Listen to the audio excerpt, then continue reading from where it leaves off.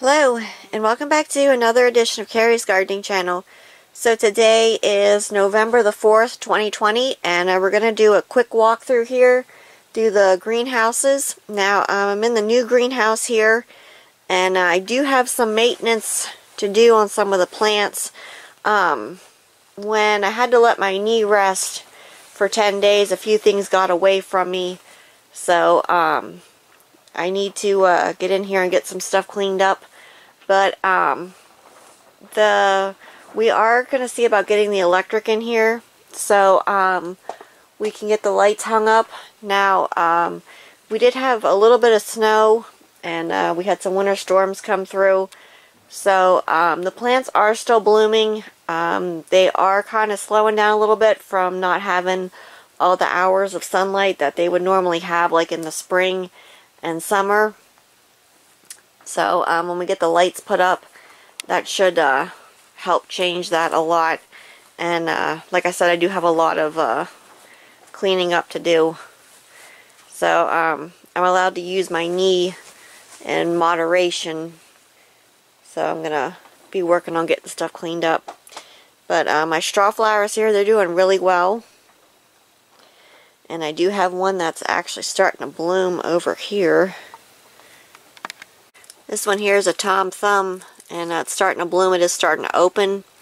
So they are getting enough light and um, the plastic is reflecting the light around and in but um, they just need a little bit more because they're not getting all the normal hours of daylight that they would normally be getting during the spring and summer.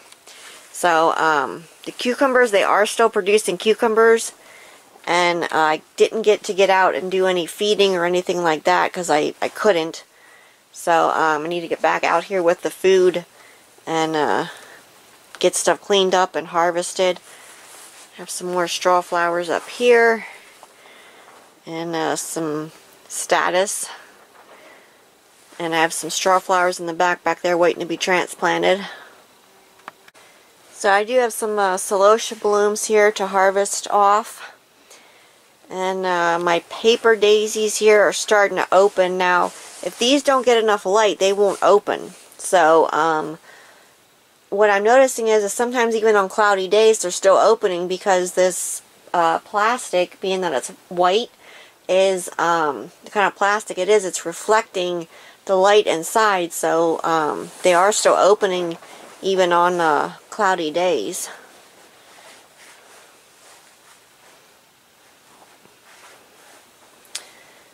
And then my little pansies back here. You can see the yellow and uh, brown one opened here. And then uh, the frizzle sizzle one that one started opening back here. Now, um, there are some more blooms coming on these, so I'm curious to see what other colors I'm going to get. Um, they're not quite doubles or frilly like I was thinking they were going to be, but um, we'll see what they do. But they are small blooms.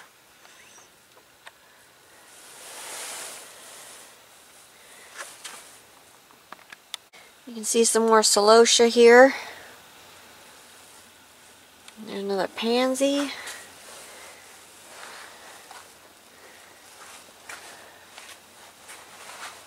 Some marigolds here. My, uh, I believe this is pronounced Kazanza flower's going to bloom here. I'll do a video on that when it does. I had one bloom earlier, and I was kind of watching it to see how long it would last, but I never got to do a video on it. Sorry about that. So when this one here blooms, I'll uh, do a video on it. So I have some more celosia here. And here's some marigolds here. And more celosia. I got a lot of stuff I got to clean up. See my plants over here. Now, I actually like this spot on the floor where I could put my larger plants because they can just grow then and I don't have to worry about them um, getting too tall on the, the shelves because some of these you can see they're getting pretty tall there and I got to kind of bend them over to uh, get my blooms and stuff. So um, I have to watch I don't break the stems because if I break the stems I defeat my uh, purpose. And you can see here, um, despite the way those cucumbers look, they are still giving. I mean, they have cucumbers on them all over the place. So um, I have to get those off. Now, there are still cucumbers in the old greenhouse. And uh, I'll show those to you when um, I show you the old greenhouse. And uh, here's another temporary one that was built to uh, try and save some of the straw flowers. You can see here, um, we're trying to cover this bin here. And uh, this had snow. This is a straw flower bin. It had snow and rain and sleet on it. Um, it was down in the 20s. It damaged a lot of them, but um, some of them did actually make it through.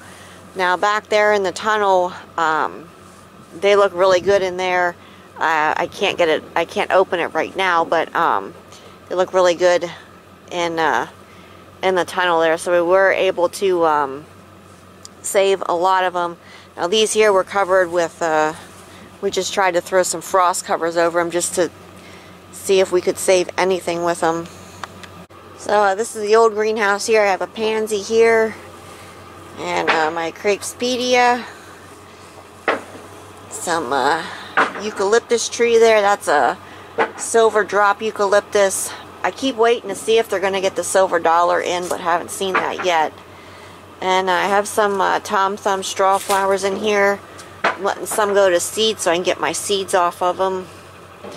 Um, another eucalyptus plant uh, more Craspedia. And uh, I have a lot of stuff to clean up in this greenhouse too. Because um, when I had to rest my knee, I just couldn't get it done. Here's another uh, eucalyptus tree here. I have a zonal geranium blooming here.